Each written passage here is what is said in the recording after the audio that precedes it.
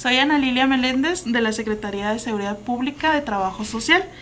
Eh, la Policía Comunitaria nos hizo entrega de algunas chamarras en buen estado, en perfecto estado, para entregar a indigentes o ancianos que sean puestos a disposición del departamento para mitigar el frío cuando así sea necesario.